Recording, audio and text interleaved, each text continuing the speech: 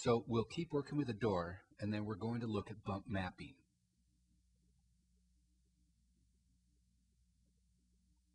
Select the door, then select Texture, Add Image, and New. From File, we want to pick the flames.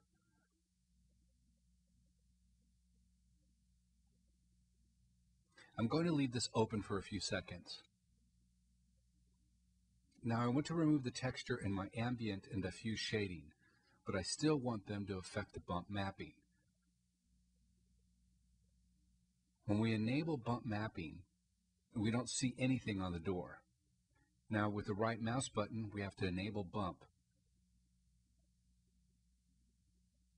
As you can see, we need to tell the program to add this image to the layer. Now we can see the bump being applied.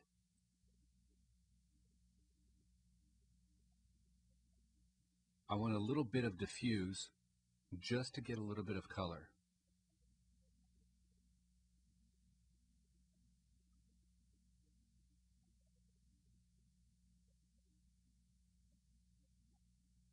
We're going to assign this texture to the weight map because I might want only the flames and just a little bit of texture in the back this black texture.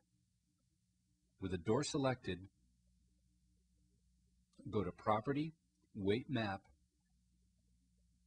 and rename the file Flames.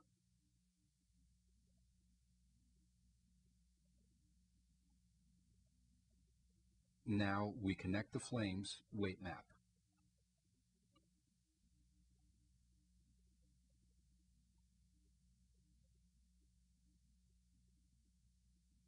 Now with the flames weight map selected, I'm going to paint with a big brush. Press W to paint, but first use Control W to set the opacity at 50% or less. We'll just brush it generally here. There you go. Now let's get a little bit closer. Now what I'm going to do is remove the black borders, this black color. With the right mouse button, we start removing the black color where we don't want borders.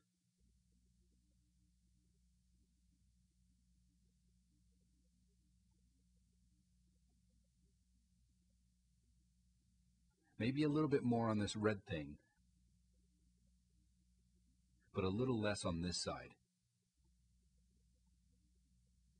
We can recover the texture we have on the back.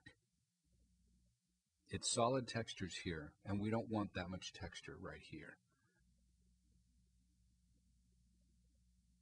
I want some texture on the edges. Now let's go back to Text Layer Editor, where we'll add a little ambient and a little bit more diffuse.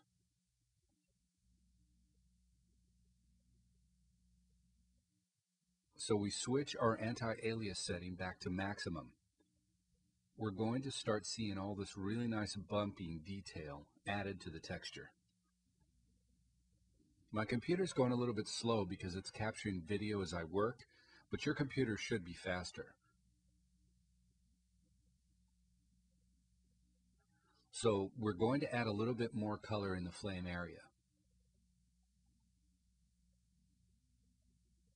So switch back to your angles to low quality and let's add more diffuse.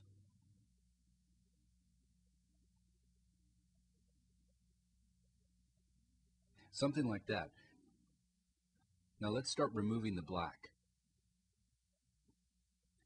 Select the flames and right click the right mouse button and start removing the flames where we don't want the black color.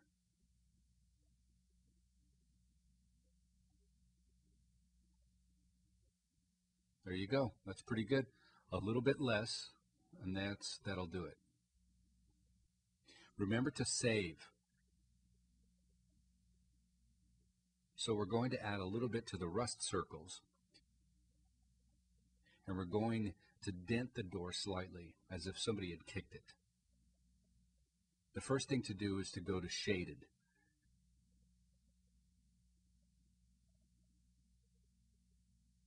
There we'll use M to move points, proportional, and R for radius. And we're going to start pushing the door a little bit. Pushing the points a little, just a bit.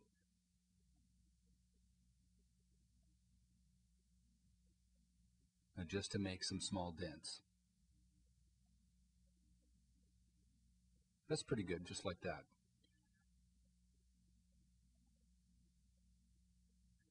Now we can use the right mouse button or adjust our fall off and make it a little bit more linear.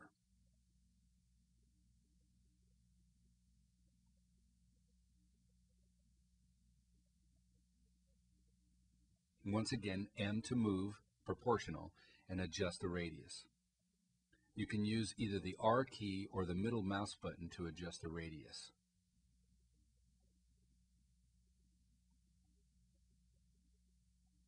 Now that's pretty good. It looks like somebody kicked the door.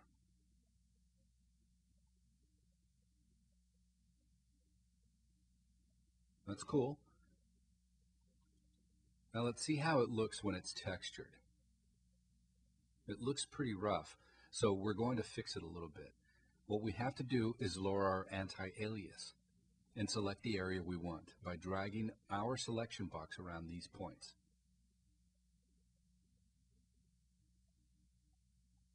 Go to Model, then Deformation, and Smooth. We're going to enable the render region again to check our values, and then we'll start adding some smooth values until we more or less get what we want.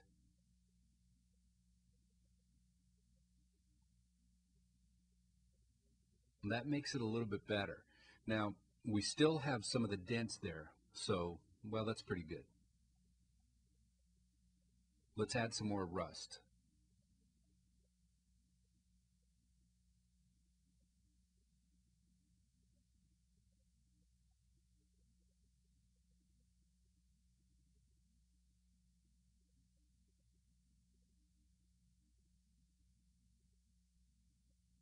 We go to red rust.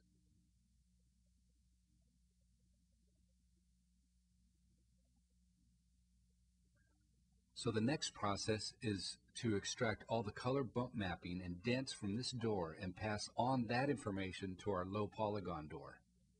And then we can continue.